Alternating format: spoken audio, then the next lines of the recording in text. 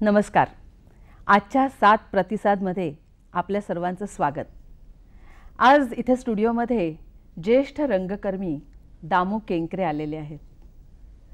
दामू केंकऱ्यांना लवकरच म्हणजे चार मे रोजी शहात्तरावं वर्ष लागणार आहे. त्यांचा पंच्याहत्तरावा वाढदिवस साजरा होणार आहे. आणि म्हणूनच त्यानिमित्ताने आज गेल्या पन्नास साठ वर्ष त्यांनी रंगभूमीवर जे काही काम केलं आहे त्याबद्दल आपण त्यांच्याशी गप्पा करणार आहोत.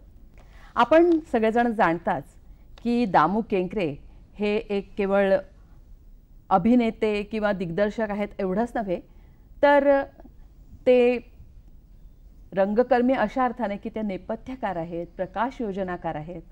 आणि त्याचबरोबर आपण बऱ्याचदा असं बघतो की जे क्रिएटिव्ह फील्डमध्ये काम करणारी माणसं असतात त्यांना व्यवस्थापनामध्ये फारसा रस नसतो. पण दामू केंकरांनी तिथेही बाजी मारलेली आहे. आज गोव्यामध्ये एक वास्तू दिमाखाने उभी आहे आणि ती म्हणजे गोवा कला अकॅडमी. यामध्ये दामू केंकऱ्यांचं मोठं योगदान आहे. आज आपण त्यांना याच्याचपासून सुरुवात करूया या विषयापासून. कारण बऱ्याचदा आपल्याला याचं विस्मरण होतं की त्यांनी ही गल गोवा कला अकॅडमी उभी केली. आणि आपल्याला विस्मरण होतं म्हणून मी आज पस पहिल्यांदा तुम्हाला हा प्रश्न विचारते की याच्यामागची तुमची प्रेरणा काय होती? आणि ती यशस्वी तुम्ही कसं काय केलं हे सगळं? मला आठवतं की ऐंशी ते चौऱ्याऐंशीच्या काळामध्ये मुंबई सोडून चक्क तुम्ही गोव्याला गेलात आणि तिथे राहून तुम्ही ही अकादमी उभी केली. तर आम्हाला जरा त्याविषयी सांगा. आता साधारणपणे असे म्हणण्याची पद्धत आहे प्रघात आहे की या याच्यामध्ये मोठा सिंहाचा वाटा मोठं योगदान वगैरे असं अशा प्रकारच्या कला क्षेत्रामध्ये विशेषतः रंगभूमी या कला क्षेत्रामध्ये एका माणसाचं काम किंवा सिंहाचा वाटा असा नसतो. असं माझं मत आहे. यासाठी अनेक लोकांचं त्यामध्ये कमी जास्त प्रमाणामध्ये योगदान असतं. म्हणजे या कला अकॅडमी गोवा याची पार्श्वभूमी थोडीशी पाहिली म्हणजे लक्षात येईल. खरं म्हणजे भारतामध्ये किंवा एकोणीसशे सत्तेचाळीस साली स्वातंत्र्य मिळालं. त्यानंतर एकोणीसशे बावन्न ते पंचावन्नमध्ये ही संकल्पना अकॅडमीची. ही अबुल कलाम आझाद जेव्हा शिक्षण मंत्री होते तेव्हा तयार झालेली. आणि त्या दृष्टीने एकोणीसशे बावन्न ते पंचावन्नमध्ये साहित्य अकॅडमी म्हणजे जी साहित्याच्या उत्कर्षाचा विचार करील काम करील तसं ललित कला अकॅडमी ही दृक्कलेच्या संदर्भामध्ये काम करेल. आणि संगीत. नाटक अकॅडमी ही प्रयोगसिद्ध कलांच्या संदर्भामध्ये उत्कर्षाच्या दृष्टीनं काम करेल. अशा तीन अकॅडमी या स्थापल्या. त्यानंतर साधारण एकोणीसशे साठ साली आपलं महाराष्ट्र झालं. त्यानंतर एकोणीसशे बासष्ट साली जे मूळ चार्टर्ड अकाउंटंट परंतु संगीत क्षेत्रामध्ये खूप काम केलेलं असं वामनराव देशपांडे यांनी एक पत्र लिहिलं वर्तमानपत्रामध्ये तरुण भारतमध्ये. की हे ही संकल्पना अकॅडमीची ही दिल्लीला आहे ठीक आहे परंतु या तेव्हा सोळा वेगवेगळ्या राज्यामध्ये काम करायचं तिथून दिल्लीमधून. थोडंसं अवघड आणि उंटावरनं शेळ्या आखण्यासारखं आहे. बरोबर. तेव्हा त्या दृष्टीनं हे जर राज्य स्तरावर अशा अकॅडमी झाल्या तर संगीत ना नाटक अकॅडमी साहित्य अकॅडमी किंवा ललित कला अकॅडमी या त्यांच्या कामाला याचा उपयोग होईल लायाचा साठी उपयोग होईल. अधिक राज्यामधल्या या क्षेत्रामध्ये कला क्षेत्रामध्ये काम करायला तिथल्या लोकांचा उपयोग जास्त होईल. या दृष्टीने असं काहीतरी असावं असं त्यांनी. आणि हे महाराष्ट्रामध्ये तेव्हा जे या साहित्य संगीत नाट्य दृढकला या क्षेत्रामध्ये काम करणारे काही लोक एकत्र आले. आणि हे ही कल्पना उचलून धरली. आणि महाराष्ट्र सरकारचे तेव्हा मुख्यमंत्री कन्नमवार होते. बरं. ही गोष्ट एकोणीसशे बासष्ट सालची. तेव्हा त्या या लोकांनी ही कल्पना कन्नमवार पुढे मांडली आणि असं काहीतरी असावं. म्हणजे मुळात ही कल्पना महाराष्ट्रात निर्माण झाली. महाराष्ट्रात अजून कला अकादमी उभी राहिली नाहीये पण गोव्यामध्ये म्हणूनच म्हणूनच त्याची पार्श्वभूमी ही जास्त महत्वाची आहे. तर तेव्हा एकोणीसशे बासष्ट साली ही कल्पना आली. तेव्हा एक कन्नमवारनी एक ॲडहॉक अशी एक कमिटी नेमली. जवळजवळ सतरा अठरा माणसं होती. त्यात अध्यक्ष आणि अध्यक्ष तर्कतीर्थ लक्ष्मण शास्त्री जोशी होते. कन्व्हिनर हे भाऊसाहेब नेवाळकर. बरं. आणि मग त्या कमिटीमध्ये दोन चार नावं सांगितली म्हणजे बाकीचे नावं सांगण्याची गरज नाही. हो. असे लक्षात येईल हो.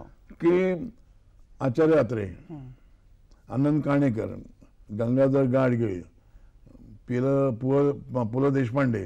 म्हणजे आपले सगळे नाम गदी माडगुळकर. अशी नामवंत मंडळी होती. त्यात बापूराव नाईचे सासरे तेही त्यामध्ये होते. या लोकांनी एक संबंध एक एक स्कीम तयार केली योजना तयार केली आणि ती पुढे मांडली ती मान्य केली. आणि ही खरी अकॅडमी महाराष्ट्रामध्ये झाली ती स्कीम योजना दिली लोकांनी मान्य केली. आणि एकोणीसशे त्रेसष्ट सव्वीस जानेवारी तेव्हा ही अकॅडमी झाली महाराष्ट्रामध्ये. असं अनाऊन्स झालं. म्हणजे चाळीस वर्ष झाली. त्याच्यानंतर तीन एक वर्ष काही झालं नाही केलं नाही. आता माझ्याकडे सगळे आमचे तसे मित्र होतो मी काही कमिटीत नव्हतो. पण हे सगळे मित्र होते. त्यामुळे त्यांच्याकडनं माझ्याकडे कागद होते. ते जर महाराष्ट्रामध्ये काही होत नसेल. तर आपण गोव्यात का करू नये असं माझ्या डोक्यात कल्पना आली. वा. मूळ ही योजना महाराष्ट्राची. मग ही? योजना मी तेव्हा बांदोडकर दयानंद बांदोडकर आमचे तसे मित्र होते तर त्याला वाचायला दिली. त्याला आवडली. म्हटलं लगेच म्हणजे साधारणपणे पंधरा दिवसामध्ये. त्यांनी इथे मुंबईला आला असताना ते आल्या असताना बोलावलं आणि बोलणं की आपण सुरू करू. अच्छा. आणि सुरू करताना हे एवढं फार मोठं आहे. तर गोव्याच्या छोट्या राष्ट्रामध्ये आपण आधी नाट्य अकॅडमी म्हणून सुरू करू मग संगीत ऍड करू मग इतर कला ऍड करू. असं म्हणून त्यांनी ही नाट्य अकादमी पहिल्यांदा सुरुवात केली आणि नंतर सहासष्ट झाली आणि चौऱ्याऐंशी मध्ये पूर्ण त्याला रूप आलं. आता आपल्याला एक फोन आलेला आहे कृष्णा गावडे यांचा. आपण त्यांच्याशी बोलूया. हा. नमस्कार. नमस्ते. मी अ, दामू यांना एक प्रश्न विचारू इच्छितोय हं. की तुम्ही दिग्दर्शक आहात अभिनेता आहात प्रकाश योजनाकार आहात नैपथ्यकार आहात त्या सर्व भूमिकांमध्ये तुम्हाला जास्त आनंद कोणत्या भूमिकेमध्ये येतो आणि का? नमस्कार. अं, मला सर्वात आनंद हा दिग्दर्शन करण्यामध्ये आहे. हं, मी बरेच कामं केलेली आहे. म्हणजे अभिनय या दृष्टीनं चांगली कामं केली. मी म्हणतो लोकांनी म्हटलंय काही बाबतीत. परंतु एखादा अप्रतिम कॅरेक्टर. करण्यापेक्षा दुय्यम दर्जाचं नाटक उभं करणं ह्यात मला जास्त रस आनंद आहे. कारण हे नाटक उभं करण्यामध्ये हा आनंद वेगळा.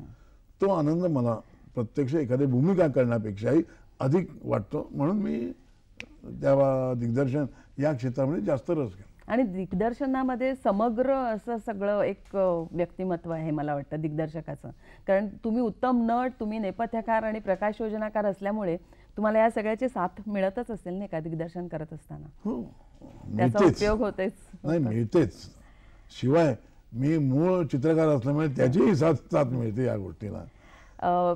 आपण ही चर्चा अशीच चालू ठेवूया एका छोट्याशा विश्रांतीनंतर.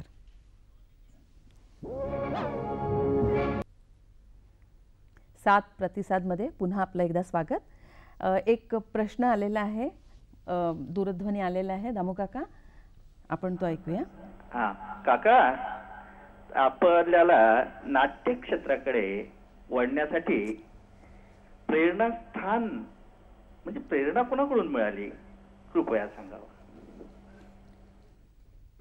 अं, आता हे थोडंसं सहज सांगणं कठीण आहे परंतु मी लहानपणापासून माझे माझ्या घरात कोणी या क्षेत्रामध्ये काम करणारे नाही. परंतु माझे वडील आई हे ज्याला आपण थिएटर गोवर म्हणतो नाटकं पाहणं त्यात रस घेणं त्यावर चर्चा करणं या सगळ्या ह्याच्यामध्ये माझे वडील आणि आई यांना मोठा रस होता. आणि त्यामुळे लहानपणापासून मी त्यांच्याबरोबर नाटकं पाहत असते. म्हणजे मी साधारण दहा बारा वर्षाचा असतानापासून मी बालगंधर्व मास्टर दीनानाथ यांची नाटकं रस घेऊन पाहिलेली आहेत. तेव्हापासून कदाचित या गोष्टीमुळे माझ्यावर या नाटकं पाहण्यामुळे रस निर्माण झाला असावा. बरोबर. राजेंद्र पाटील यांचा प्रश्न होता हा. दामोगा ह्याला धरूनच मी पुढे विचारते की दिग्दर्शक म्हणून तुम्ही विविध प्रकार नाटकांचे हाताळले. त्याच्यामुळे त्याच्यामध्ये ऐतिहासिक नाटकं होती शेक्सपिरियन हॅमलेट तुम्ही केलं त्याच्यानंतर कॉमेडीज होत्या अतिरंजित मेलोड्रामा ज्याला म्हणतात त्या प्रकारची नाटकं होती पौराणिक होती तमाशा प्रकारची होती आणि दशावतारी होते.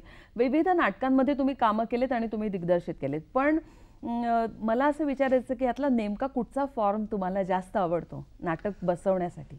दिग्दर्शक म्हणून. नाही असा एखादा फॉर्म आवडतो म्हणून तसं करणं वगैरे असं काही होत नाही. मूलतः नाटक नाटकामध्ये काही म्हणायचं आहे. ज्या प्रकारे म्हणायचं त्या पद्धतीने लोकांच्या समोर मांडणं. यासाठी कोणता जो फॉर्म असेल कुठलाही असू दे तो फॉर्म जे म्हणायचे ते सांगण्यासाठी नाटककाराने ज्या पद्धतीने वापरला आहे तो योग्य आहे की नाही हे पाहून जे म्हणायचं असतं त्या पद्धतीने त्या फॉर्ममध्ये करायचं. म्हणूनच मी कित्येक निर्णय नाटककारांना त्यांना जे काही सांगायचे ते सांगायला निर्णय फॉर्म त्यांनी काय वापरले तेच अधिक चांगल्या रीतीने कसे लोकांच्या समोर मांडावे असं म्हणून मी प्रत्येक फॉर्ममध्ये मी काम करीत राहील. हां पण बघा हां, काका असं पाहायला गेलं तर तुम्ही जास्तीत जास्त कॉमेडीज बसवलेल्या आहेत. तुम्ही वेगवेगळ्या प्रकारच्या कॉमेडीज म्हणजे त्याच्यामध्ये बघा सिच्युएशन कॉमेडी आहे त्याच्यामध्ये सस्पेन्स कॉमेडी आहे त्याच्यामध्ये डार्क कॉमेडी आहे त्याच्यामध्ये लाइट कॉमेडी आहे असे अनेक प्रकार तुम्ही बसवलेले आहेत. आता काय आताच्या रंगभूमीमध्ये ग्रीक रंगभूमीसारखं एक ठोस असे तुम्ही काही प्रकार पाडू शकत नाही की ट्रॅजेडी कॉमेडी तर या कॉमेडीमध्ये पण हे असे विविध प्रकार आहेत. तर तुम्ही नाटक बसवताना नेमका हा बाज कसा काय ओळखता? हे- कुठच्या प्रकारचं आहे? हां. हे नाटक जेव्हा समोर येतं. ते वाचल्यानंतर लक्षात येतं की हे कोणत्या फॉर्ममध्ये असेल. आता उदाहरणतः. मी गंगाधर गाडगे यांचं पहिलं ना नाटक म्हणजे एकांकिका त्या भारतीय विद्याभवनच्या स्पर्धामध्ये केलं इंटर कॉलेज. ते रहस्य आणि तरुणी. हे कॉमेडी आहे. हे काहीतरी वेगळं असं वाटायचं तेव्हा. वेगळं म्हणजे इतर कॉमेडीपेक्षा वेगळं. म्हणजे काय हे निश्चित समजायचं नाही. पण जेव्हा करीत करीत करत गेलो एक केलं त्याच्यानंतर त्याच प्रकारचं दुसरं केल्यानंतर मला लक्षात आलं की हा फारचचा एक प्रकार हे करता करता लक्षात येतं. एक भाग आणि त्याच्या आधी हे अमुक असावं हे स्क्रिप्टमध्ये लिहिण्याच्या पद्धतीमध्ये लक्षात येतं. आणि मग ते त्या पद्धतीने कॉमेडी ज्या कोणत्या पद्धतीने असेल ते आपण शोधतो आणि करता करता त्यात आणखीन गोष्टी सापडत जातात. अं, तुमच्या केलेल्या ह्या कॉमेडीजमध्ये मला अनेक नाटकं आठवतात. एक म्हणजे चौऱ्याऐंशीचा फेरा किंवा Black comedy. ब्लॅक कॉमेडी त्याच्यानंतर सूर्याची पिल्ले. घेतलं शिंगावर. ही सिच्युएशन कॉमेडी होती पण त्याच्यामध्ये काही भाग फार्सिकल होता. बिऱ्हाड बाजलं ही एक ट्रॅजी कॉमेडी म्हणता येईल अशा प्रकारची होती. त्याच्यानंतर अशी तुमची बरीच नाटकं सांगता येतील. पण मला आता दुसऱ्या बाजूने विचारायचं आहे की मेलोड्रामा किंवा अतिरंजित असं नाटक ते बसवताना तुम्ही कशा प्रकारे ते मांडता? उदाहरण द्यायचं झालं तर अखेरचा सवाल हे नाटक. अखेरच्या सवालचंच उदाहरण जर घ्यायचं झालं तर मूलतः हे नाटक ज्याला आपण अतिरंजित किंवा मेलोड्रामा असं म्हणतो अशा प्रकृ- प्रकृतीचं नाटक आहे. बरोबर. परंतु एखादी गोष्ट ज्या इंटेन्सिटीने मांडायची आहे त्या इंटेन्सिटीसाठी हे. मेलोड्रामा हा एक प्रकार आहे. हं. हा प्रकार बरे वाईट असं नाही होय ते ते प्रकार आहेत ते प्रकार त्या पद्धतीनेच व्हायला पाहिजे. अशा पद्धतीनं हा मेलोड्रामा किंवा अतिरंजित प्रकार. त्याच पद्धतीने होतो का ज्या इंटेन्सिटीने आपल्याला जे काय म्हणायचे का परिणाम साधायचा आहे तो फार अतिरंजित न करताही आपल्याला साधता येतं का? हे पाहण्यासाठी हे मला नाटक जास्त बरं वाटलं. ते मूळ पिंड अतिरंजित आहे. परंतु ते त्या पद्धतीने तितकं अतिरंजित न करता त्याचा परिणाम किंवा त्याचं वातावरण त्याच पद्धतीचं त्याच इंटेन्सिटीचं करता येईल की नाही हे पाहण्यासाठी. आणि ते मला असं वाटतं ते असं करता येतं असं या नाटकामुळे मला मिळालं सापडलं असं म्हणू आपण. या बाबतीत मला तो किस्सा आठवतो म्हणजे विजयाबाई आणि भक्ती बर्वेच्या एका दृश्याबद्दल की ते दृश्य झाल्यानंतर त्या खूप रडायच्या. तर तेव्हा तुम्ही त्यांना काय सांगितलं ते होतं त्यांचं नेमकं? हं, म्हणजे कारण विजयाबाईंचा पिंड नव्हे मेलोड्रामा करण्याचा. आणि त्या तर ते काम करत होत्या त्यामध्ये. तर मग किंबहुना नाटकाच्या तालमीच्या आधीच ही कल्पना दिली होती की हे नाटक मेलोड्रामा आहे. जरी असलं तरी आपल्याला करताना हे तो मेलोचा आणखीन मेलो करून हे करणं यासाठी हे मेलोड्रामा असं गृहित असलं तरी डोक्यामधून ते काढून टाकायचं आणि करायचं हे करण्यासाठी मी हे करतोय. याची कल्पना सुरुवातीला दिलेली होती. परंतु त्यातल्या काही काही गोष्टी ज्याचं उदाहरणार्थ ते हा जो प्रसंग आहे तो प्रसंग मुलगी आणि आई मुलीला कॅन्सर झालेला. आणि तो कॅन्सर तिला सांगायचा नाही. आई डॉक्टर तिला माहिती. तेव्हा अशा पद्धतीने जेव्हा करता करता ती तिची काळजी घेत घेत घेत तिला काही न सांगता सबन ट्रीटमेंट करायची. परंतु हे सगळं चालू असताना मुलीला ऑलरेडी कळलेलं असतं. आणि तो मुद्दा त्या मुद- क्षणी असा येतो हां असा तो येतो की जिथे आईला आई नाही, आई मुलगी म्हणते की मला माहिती आहे अशा एका पॉइंटला आणि आईला आश्चर्य वाटतं. एकदम धक्का बसतो. आणि तिथे त्या- खूप रडायच्या मला असं. वाटतं. आणि तिथे जेव्हा तो प्रसंग येतो ती सांगते आईला की मला काय झालंय हे मला कळलंय मला माहीत नाही असं तुम्हाला वाटतं का? तर मला माहिती आहे. आणि ती ज्या लाईटली ती सांगते वास्तविक ही अतिरंजित पद्धतीने सांगायला हवं. अशी कल्पना. परंतु त्याच्या उलट घेऊन अतिशय लाइट पद्धतीने ती सांगते. मला असं वाटतं त्यामुळेच अधिक त्याचा परिणाम होतो. बरोबर. जाऊ का एक मिनिट आपल्याला एक फोन आलेला आहे. विजय पराडकर यांचा. बोला. केंद्रे साहेब तुम्हाला एक प्रश्न विचारायचा असं वाटतं की सावल्यांसारखी निर्मिती पुन्हा नवीन कराविषयी काय वाटली नाही का? सावल्या म्हणजे सिरियल दूरदर्शन मालिकेबद्दल ते मालिका. काय आहे? मला मिळाली तर मी करीन. परंतु ती ज्या पद्धतीचं ती मालिका होती ज्या पद्धतीने सादर केली तशी त्याच्यानंतर मला काय माझ्या हातात सापडली नाही. एक. आणि ह्या दूरदर्शन मालिकांचे सादर करण्याच्या ज्या पद्धती सगळ्यात त्या माझ्या प्रकृतीला बसतं की नाही याची मला अजूनपर्यंत शंका आहे. म्हणून त्यावेळी ते बसले त्या पद्धतीने केली. त्याच्यानंतर मला काही तसं अजून बसलेलं नाही असं मला वाटतं. आपण एक छोटीशी विश्रांती घेऊया.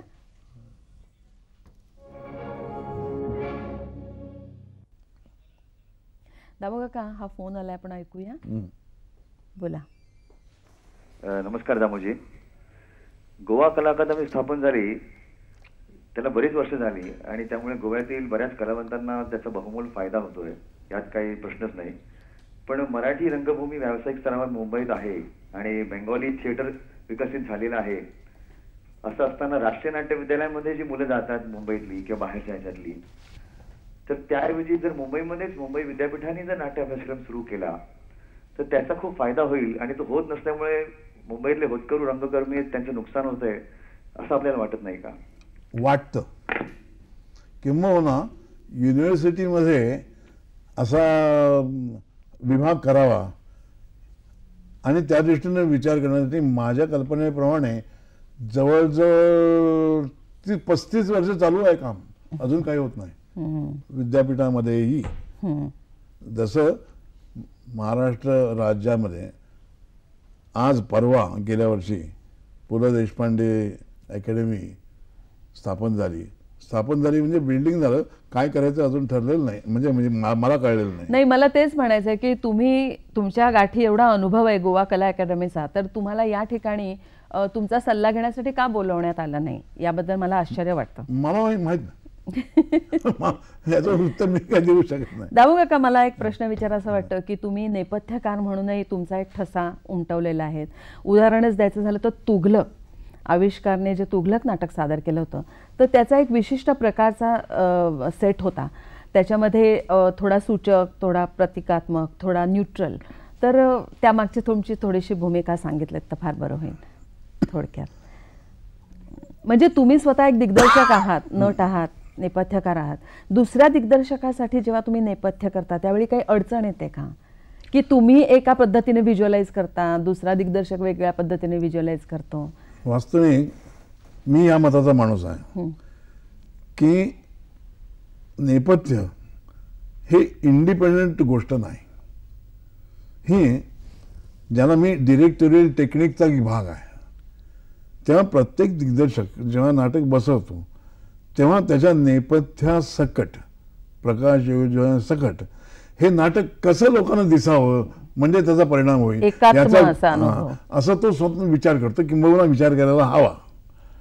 असं म्हटल्यानंतर नेपथ्य सुद्धा आधी दिग्दर्शकांनाच त्याचा विचार करायला पाहिजे.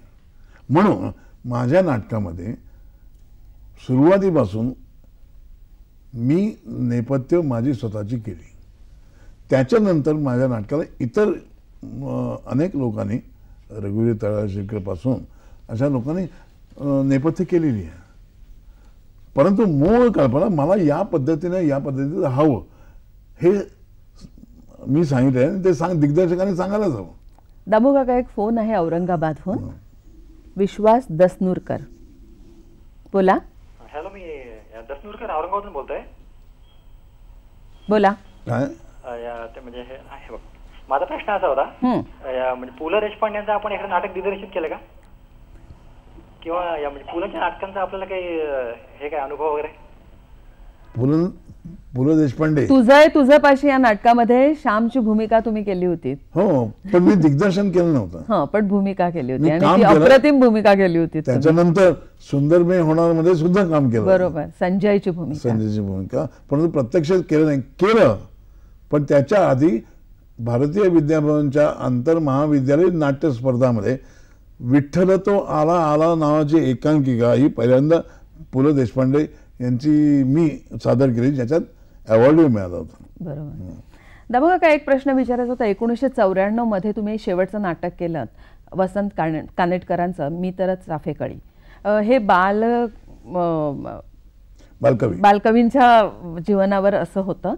तर हे नाटक खास तुम्ही त्यांच्याकडनं लिहून घेतलं होतं आणि कानेटकरांचंही म्हणणं होतं की ते तुम्हीच दिग्दर्शित करावं. पण त्या नाटकाला तेवढा प्रतिसाद मिळाला नाही मला असं वाटतं. तर हे नाटक करण्यामागची तुमची भूमिका काय होती? खरं म्हणजे हे नाटक करण्याची एका बैठकीमध्ये चर्चा करताना हे कानेटकरांच्याच डोक्यात नाटक लिहायचं होतं आणि मला इथे कल्पना आवडली होती. या गोष्टीला नाटक केलं त्र्याण्णव चौऱ्याण्णव वर्ष आठवत नाही. परंतु त्याच्या आधी तीस वर्षाच्या आधी ठरलेलं नाटक करायला. त्यांनी तेव्हा एक अंकही लिहिला होता. त्याच्यावर चर्चा झाली. परंतु मूलतः बालकवींचं आयुष्य तसं ड्रॅमॅटिक म्हणता येईल असं नाही एका दृष्टीनं. म्हणजे नाट्यमय. हां ज्याला म्हणतो असं फारसं नाही. तरी सुद्धा त्यांचे एक मित्र जे त्यावेळेला जळगावचे मोठे प्रतिष्ठित वकील सोनाळकर. ते त्यांचे मित्र आणि ते वकील असते तरी सुद्धा कवीही होते थोडे.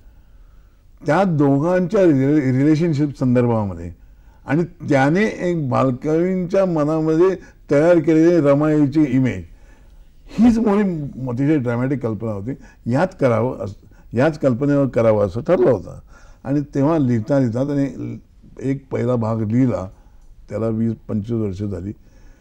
त्या भागामध्ये लिहिताना लक्षात आलं की त्यांना तो सोनाळकर ही कॅरेक्टर इतकी भावली होती इतकी आवडली होती. आणि होतीच तशी कॅरेक्टर ते करता करता ते सोनाळकरांचं नाटक होतं का? इथपर्यंत झालं. त्यामुळे त्याच्यामुळे सापडलं नाही तर अडकलं तिथे. म्हणून ते करता करता वीस बावीस वर्षानंतर मग पुन्हा काही एक दोन गोष्टी सापडल्यानंतर पुन्हा लिहा- लिहायला सुरुवात केली. आणि मग लिहिताना तीन चार पाच अशी वर्षांच पुन्हा पुन्हा रिराईट करून ते नाटक लिहिलं. तरी सुद्धा नाटक म्हटल्यानंतर त्यात एक बारीक दोन दोन चार गोष्टी पण राहतात राहिले दामू काका खरं म्हणजे तुमच्याशी गप्पा करायला एवढा कमी वेळ आहे. हो. पण हो. मला एक सांगावंसं वाटतं की तुम्ही अत्यंत निस्वार्थी असे रंगकर्मी आहात. तुम्ही आतापर्यंत रंगभूमीच्या विकासासाठी तुमच्याबरोबर अनेक रंगकर्मींना घेतलं त्यांना दिशा दाखवलीत मार्गदर्शन केलं आणि हे तुमचं खरं रंगभूमीला योगदान आहे. आज आपण सगळ्यांनी मिळून दामू काकांना त्यांच्या पंच्याहत्तराव्या वाढदिवसानिमित्त शुभेच्छा चिंतूया. धन्यवाद.